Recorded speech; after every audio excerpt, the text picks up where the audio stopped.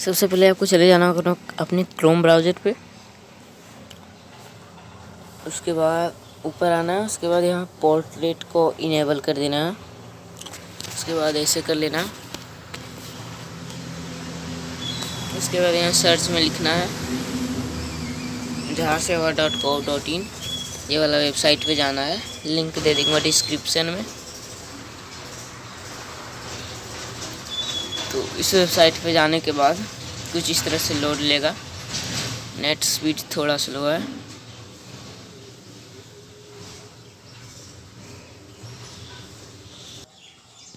जैसा भी इस वेबसाइट पे जाओगे, आपको यहाँ लॉगिन का ऑप्शन दिखेगा। अगर आप फ़र्स्ट लॉगिन फ़र्स्ट यूज़र हैं तो यहाँ रजिस्टर योर सेल्फ पे क्लिक करना है। उसके बाद ईमेल आईडी डालना है मोबाइल नंबर वेरीफाई करना है ओटीपी डाल के आएगा उसमें।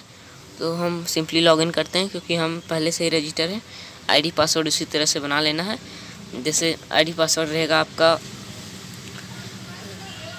ईमेल और पासवर्ड रहेगा आपका जो भी बनाएँगे सो।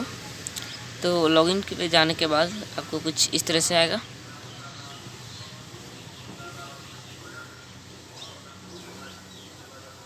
अपना ईमेल आईडी शो करेगा और यहाँ कैप्चा अपना डाल देना है।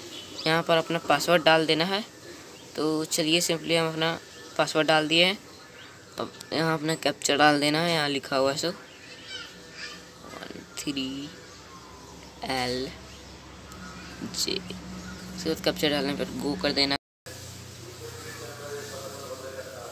तो लोडिंग हो रहा है।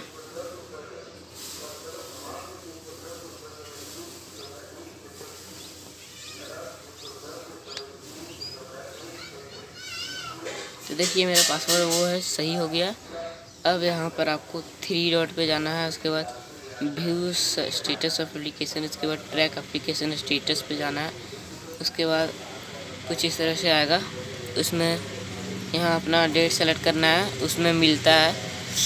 वहाँ अपना इतना तारीख से इतना तारीख के बीच में वहाँ जितना तारीख है उसी, इसी के बीच में आपको डालना है। इसी के बीच में रहना चाहिए दोनों डेट के बीच में। उसके बाद यहाँ अपना रिफ्रेंस नंबर डाल दीजिए। उसके बाद यहाँ गेट डेटा पे क्लिक कर दीजिए। जैसे आप गेट डेटा पे क्लिक करोगे, नीचे आ जाएगा आपका। तो देखिए, इधर स्लाइड करोगे इधर।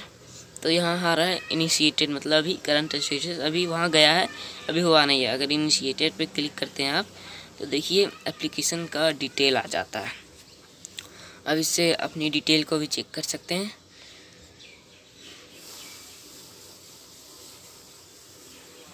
देखिए, आ चुका है। यहाँ व्यू पे क्लिक करके डिटेल देख सकते हैं। यहाँ क्लिक है। क्लिक करके वो वाला पीडीएफ डाउनलोड कर सकते हैं, जिसमें डेट वगैरह लिखा रहता है। और यहाँ व्यू पे क्लिक करके देख लेते हैं। व्यू पे क्लिक करने के बाद आपके साथ कुछ इस तरह से आएगा। देखिए, आपने क्या क्या किया था नाम उम सब दिख जाएगा। तो ये फ़िलहाल